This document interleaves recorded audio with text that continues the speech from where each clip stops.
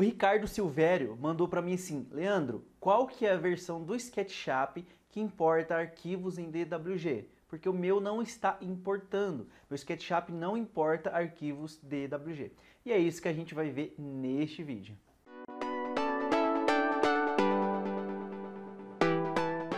Só que antes de mais nada, eu tenho algo para você na descrição desse vídeo, algo que com certeza você vai gostar. Eu quero te pedir também para se inscrever no nosso canal, eu quero te pedir para clicar no, no sininho e ativar as notificações, dar o seu like, o seu joinha, isso ajuda bastante a gente continuar os vídeos do canal e também deixar seu comentário abaixo se você tiver alguma dúvida, alguma sugestão. Então vamos aqui para a tela do computador. Para ficar mais claro o erro, ao tentar importar um projeto em DWG é um projeto feito no AutoCAD, a gente vem em arquivo, importar.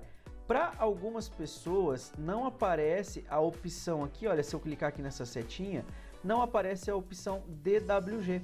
Por que, que não aparece essa opção DWG ou DXF, arquivos do AutoCAD?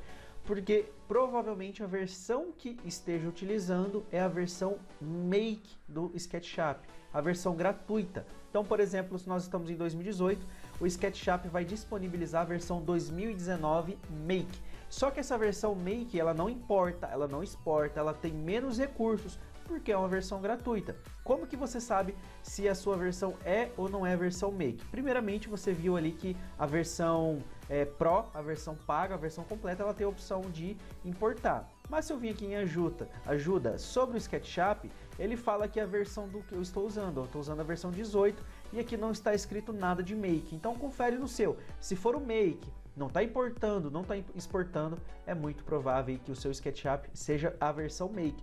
Nesse caso, só com a versão Pro, que é a versão completa, que você vai ter essa opção de fazer é, importação, exportação e todos os recursos completos do SketchUp, beleza? Então, te vejo na próxima aula, um abraço e até mais.